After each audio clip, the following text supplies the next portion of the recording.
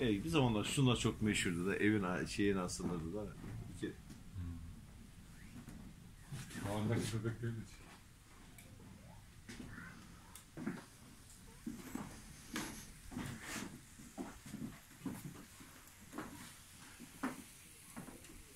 Kemal bunlar